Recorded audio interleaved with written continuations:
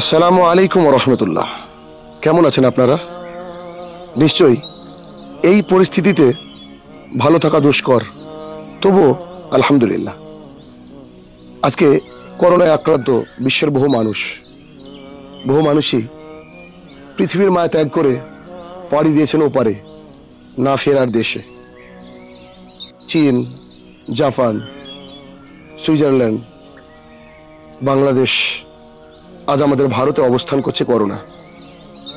এটা ভাইরাস অথবা আল্লাহর গজব, যাই হোক না কেন, মানুষ আজকে আক্রান্ত, ব্যতিব্যস্ত এ থেকে বাঁচার জন্য। আমাদের দেশের সরকার বলেছে যে লক আউট মানে জরুরি পরিষেবা বাদ দিয়ে সবকিছু বন্ধ থাকবে। মানুষ বুদ্ধিমান প্রাণী, আল্লাহ তাদেরকে সুন্দর করে অবয়ব দিয়ে তৈরি করেছেন। আবার এক পর্যায়ে আল্লাহ বলছেন মানুষ পশুর চেয়ে নিকৃষ্ট। আজ কথা বলব যারা এই লকআউটের জন্য করোনার ভয়ে খাদ্য সংরক্ষণ করছেন, তাদের উদ্দেশ্যে। হুম, যারা খাদ্য মজুত করছেন। জানেন, ইতালিতে বহু মানুষ খাদ্য মজুত করেছিল। চীনে, জাপানে অনেক মানুষ অনেক খাদ্য মজুত করেছিল। যারা মজুত করেছিল, সবাই কিন্তু দুনিয়াতে নেই। তাদের বাড়িতে খাদ্যগুলো এভাবে পড়ে আছে। এখন মহামারীর সময়। চারিদিকে ভাইরাসের প্রকোপ। জনজীবন ব্যতিব্যস্ত।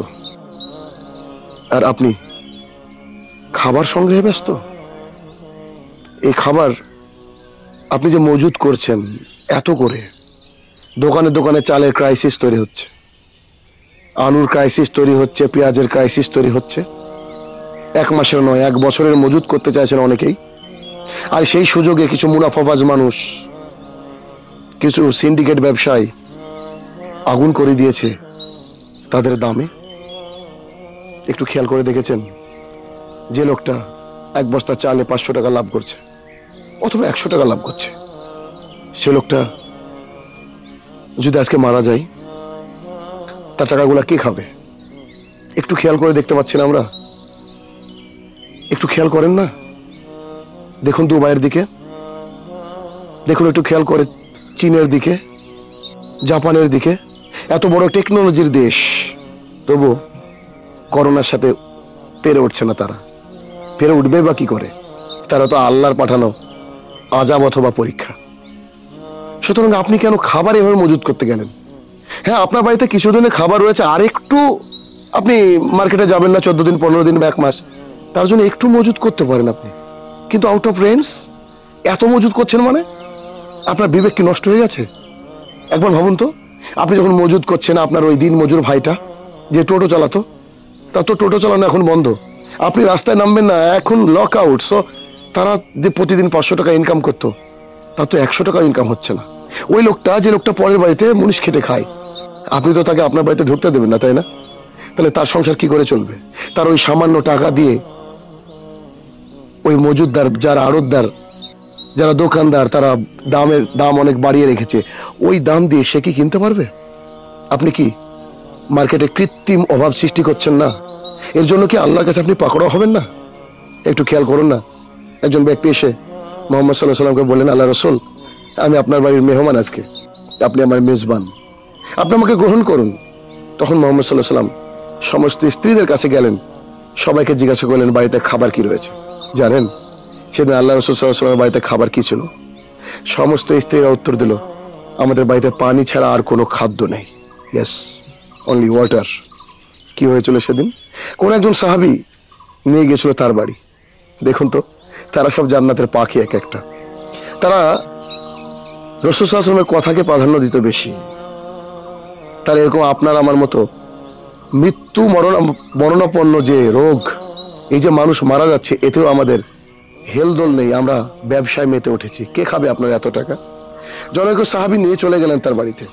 গিয়ে দেখলেন, তার বাড়ি তো তেমন খাবার নেই।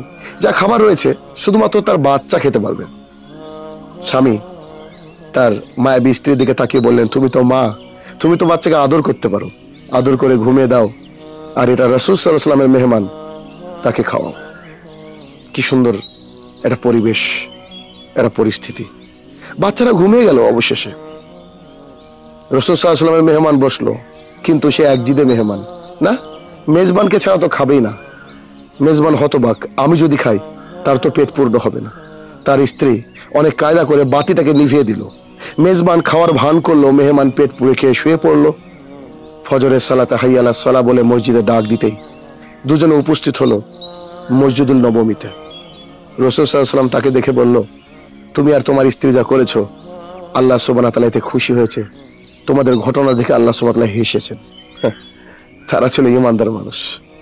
আপনি আমি কত বড় ইমানদার এই করোনার ভয়ে খাদ্যশস্য মজুত করছি আমরা কৃত্রিম অভাব সৃষ্টি করছি। একবার খেয়াল করুন তো যে দোকানদার এভাবে উচ্চ দামে আপনার মালগুলাকে বিক্রি করছেন তার যদি করোনা হয় এই যে আজকে লক আউট করা হয়েছে। কেন? যাতে করে আপনি, আমি সুরক্ষিত থাকি। এখন একজন ব্যক্তি আসলো আপনার দোকানে, সে চাল মজুত করতে চাইছে। আসলে তার করোনা রয়েছে। তার হাতে হাত দিয়ে, তার হাতের টাকা নিয়ে আপনারও করোনা হয়ে গেল। আপনি কি করবেন? দেখছেন না? মৃত্যু মিছিল চলছে আজকে। গোটা বিশ্বে গোটা বিশ্বে মৃত্যু মিছিল চলছে আজকে। জাপানে, ইরাকে আরও পৃথিবীর বিভিন্ন দেশে ছড়িয়ে পড়েছে গোটা বিশ্বে। তাদের দিকে তাকিয়েও কি আপনার একটু বুদ্ধির শুভ উদয় হয় না? আপনি কি ভাবেন না যে কি ঘটতে পারে আপনার জীবনে? ওই টাকাগুলা পড়ে থাকবে ওইভাবেই। আপনি দেখছেন না? একজন করোনায় আক্রান্ত রোগীর না হচ্ছে জানা যা, না হচ্ছে গোসল। তাকে কি করে দূর থেকে দড়ি দিয়ে বেঁধে টেনে কুকুরের মতো পুঁতে রাখছে? আপনাকে আমাকে যে পুঁতে রাখবে না, এটা কি করে আমরা বুঝব? আসুন না, এই মহামারীর সময় এই কষ্টের সময় আমরা একে অপরকে সাহায্য করি। একে অপরকে সাহায্যের হাত বাড়িয়ে দিই। নিজের খাবারটুকু অন্যকে তুলে দেওয়ার চেষ্টা করি। দোকানে দোকানে দামটাকে একটু কমিয়ে দিই। আর কবে শুধরাবেন? কবে শুধরানোর সময়? এখন আপনি চালের দাম, আলুর দাম বাড়িয়ে, পেঁয়াজের দাম বাড়িয়ে টাকা সঞ্চয় করছেন? বিশ্বাস করুন, হয়তো এই টাকা নিয়ে আপনি যাবেন না তো ঠিকই। এই টাকা হয়তো আপনি ভোগ করতেও পারবেন না। আপনার জন্যই মহামারীর আকার হয়তো বেশি ধারণ করবে। আমি চাই আমার এই কথার মাধ্যমে যদি আপনার একটু বিবেকটা খুলে, যদি আপনি মাত্রা অতিরিক্ত জমা না করেন, যদি আপনি মাত্রা অতিরিক্ত দাম না বাড়িয়ে দোকানে মালপত্র বিক্রি করেন, তাহলে মনে হয় আল্লাহ সুমাতলা অনেক খুশি হবেন। আশা করছি বুঝতে পেরেছেন। আসসালামু আলাইকুম রহমতুল্লাহি ওবারাকাতুহ